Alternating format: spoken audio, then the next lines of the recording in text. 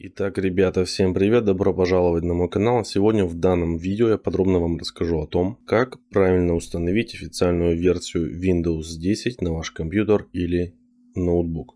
Я постараюсь показать вам самый простой и быстрый способ установки Windows 10 на устройство. Устанавливать мы будем официальный образ, поэтому никаких вирусов там не будет. И вы можете на 100% быть уверены, что ваши данные не попадут в чужие руки. Также, если у вас есть желание установить официальную версию Windows 10 LTSC, это урезанная версия Windows 10 без встроенного магазина, тогда можете просто перейти по ссылке справа вверху и в описании. Я снял видео про установку официальной версии LTS-C. Также в этом видео я подробно расскажу о самых распространенных ошибках, которые могут возникнуть при установке Windows 10. Поэтому благодаря этому видео вы с вероятностью 98% сможете установить Windows 10 на свое устройство. Ну что, давайте приступим.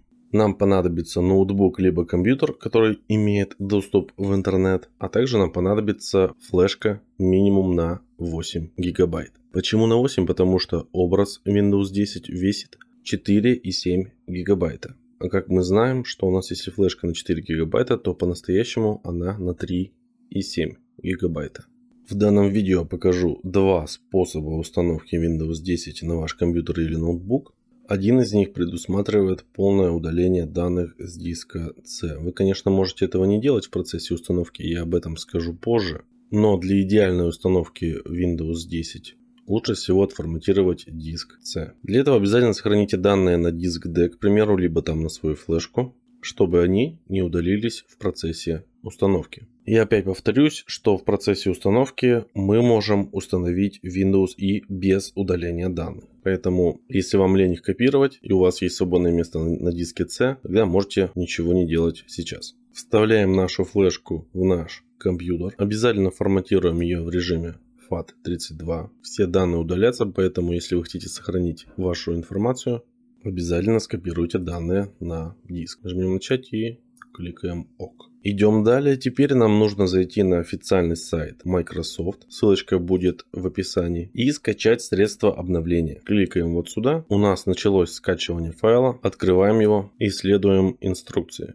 небольшая полезная информация. В процессе установки Windows попросит ключ, однако можно установить Windows и без него, если у вас имеется лицензионный ключ Windows 10. Обычно это бывает на ноутбуках. Сфотографируйте его на телефон, либо запишите куда-нибудь. Таким образом вы сможете установить полностью лицензионную активированную Windows 10. Очень важно будет выбрать именно ту операционную систему, на которую у вас имеется ключ. К примеру, если у вас Windows домашняя, значит нужно будет выбирать Windows домашнюю. Если у вас профессиональная, тогда нужно будет выбирать профессиональную. Если у вас OEM активация на ноутбуке, тогда просто смело устанавливайте Windows 10. После установки она активируется самостоятельно. Здесь мы жмем «Принять». Далее выбираем «Создать установочный носитель USB». Выбираем соответствующий язык, который вы хотите, чтобы был в системе, и жмем «Далее». Тут также есть способ установки через DVD-диск. Он существенно не отличается от того способа, который я вам сейчас покажу, но делать я этого не буду, потому что, ну, диски это уже прошлый век.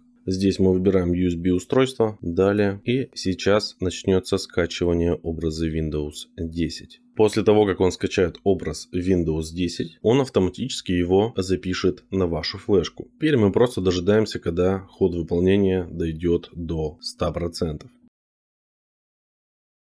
Так, что делаем дальше? Ну, смотрите, тут есть два способа, как можно установить Windows. Во-первых, вы можете открыть сразу из-под ну, из-под той винды, на которой вы сейчас сидите, но здесь придется обязательным образом ввести ключ продукта. То есть, если у вас есть ключ и вы не хотите тратить время, можете следовать инструкции в установщике. Я же покажу способ более проверенный через загрузку с флешки. Также перед установкой Windows я настоятельно рекомендую вам скачать официальные драйвера с сайта производителя вашей материнской платы либо ноутбука. Почему? Потому что, к примеру, после чистой установки у вас может не быть драйвера на интернет. из-за чего вы просто не сможете воспользоваться интернетом и скачать необходимые драйвера уже после установки. Поэтому лучше всего делать это заранее. Все инструкции у меня есть на канале для всех производителей. То есть для производителей материнских плат, как установить драйвера на материнскую плату, а также для производителей ноутбуков, как установить официальные драйвера на ваш ноутбук. Закидывайте их куда-нибудь на диск D, либо вот на эту же флешку. Тут с данными ничего не произойдет, можете не беспокоиться. И после чего начинаем установку. Так, нам нужно загрузиться в BIOS и поменять там приоритет на нашу флешку.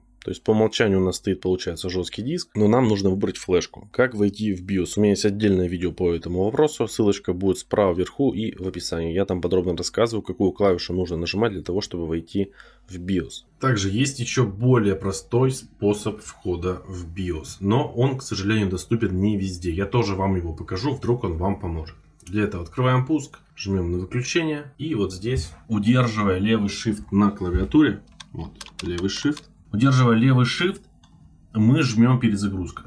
Продолжаем держать.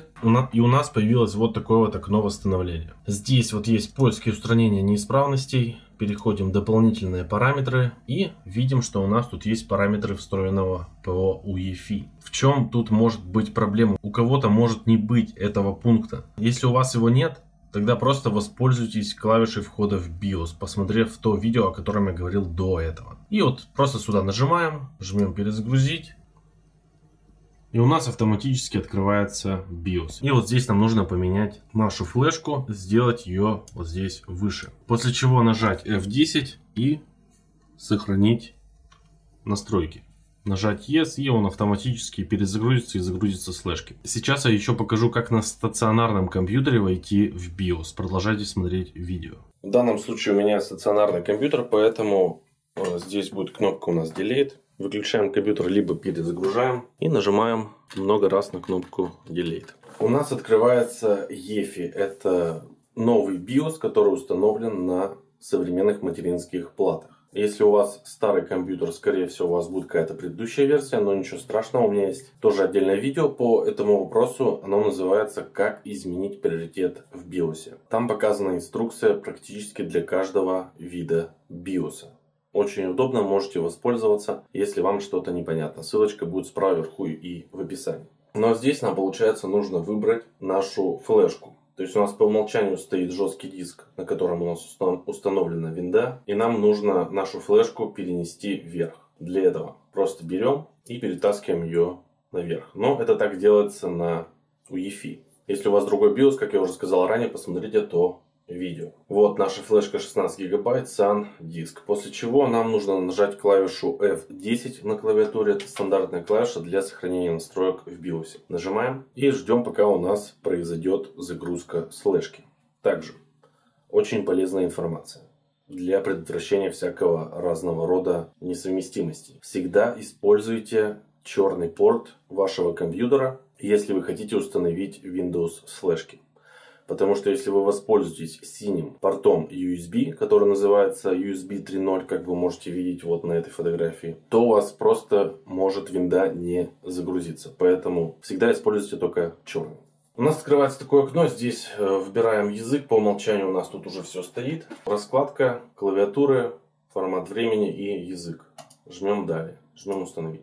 Здесь он нас просит ввести ключ продукта. Если он у вас есть на, на ноутбуке, тогда просто его переписывайте сюда и жмете далее, там уже справитесь. Если у вас его нет и вы какими-то другими методами хотите активировать Windows, тогда просто жмем «У меня нет ключа». Здесь он нам предлагает выбрать версию операционной системы Windows. Если у вас был ноутбук с предустановленной системой и у вас есть ключ, тогда выбираем именно ту операционную систему, которая у вас была там установлена. Также вот на этом шильдике будет написано, что это за версия, либо Pro, либо домашняя. К примеру, я выбираю Pro.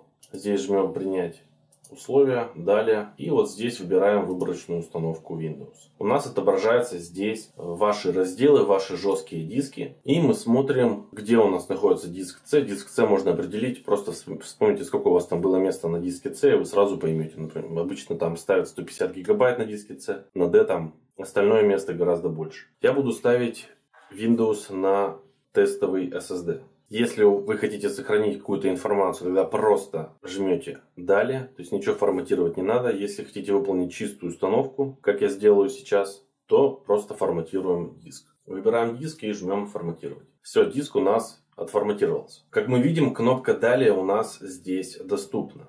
После нажатия на нее начнется установка Windows. Но у многих может возникнуть здесь проблема. Обычно это бывает, когда они устанавливают э, десятку после семерки, либо семерку после десятки. Проблема звучит таким вот образом. Установка Windows на данный диск невозможна. На выбранном разделе находится таблица MBR разделов. В системах EFI Windows можно установить только на GPT диск. Если у вас возникает такая проблема, то просто перейдите по вот этой вот ссылочке справа вверху и в описании. Там я подробно рассказываю, как изменить таблицу MBR на GPT и GPT на MBR. Также получается, если вы прикупили недавно новый SSD или новый жесткий диск, то у вас может быть написано незанятое пространство на диске. Это жесткий диск без разделов. После того, как вы нажмете «Далее», он автоматически создаст необходимые разделы на диске. Это может быть либо один диск C, либо он его поделит пополам. В принципе, все это делать вы можете вручную. Для этого жмем «Создать» и указываем здесь размер в мегабайтах, сколько там нам нужно для Windows.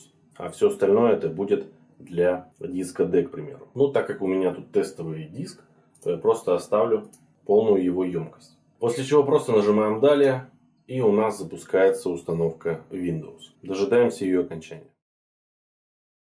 Также после установки может возникнуть такая проблема, что из-за того, что мы изменили приоритет в BIOS, у нас автоматически компьютер будет загружаться снова на флешку. Хотя после того, как он скопирует все файлы на ваш жесткий диск, он должен запуститься с жесткого диска. Поэтому если у вас после перезагрузки, то есть после того, как тут везде зеленые галочки появились, снова появляется окно установки, просто заходим также в BIOS, как мы заходили до этого, и меняем приоритет на жесткий диск. По идее, Windows делает это автоматически, но иногда по каким-то причинам этого не происходит. Поэтому об этом следует помнить. К счастью, у нас этого не произошло, поэтому сейчас просто дожидаемся, пока Windows настроит устройство. Сама процедура может занять продолжительное количество времени. Бывает так, что на маломощных ноутбуках это доходит до получаса. Поэтому набираемся терпения, ни в коем случае не выключаем наш компьютер. Если у вас ноутбук, то не забудьте поставить его на зарядку, для того, чтобы он не выключился в самый ответственный момент. Так, у нас все загрузилось. Выбираем регион, выбираем раскладку клавиатуры, русская. Если вам нужно добавить какую-то, то жмите добавить раскладку. По умолчанию английский язык будет уже вшит.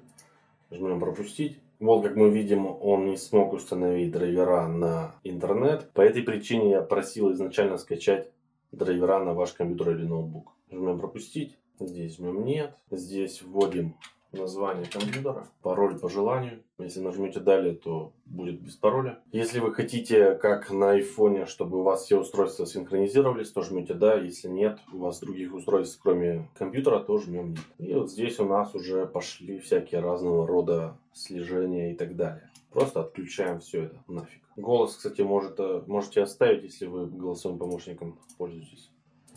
Все остальное выключаем и жмем принять.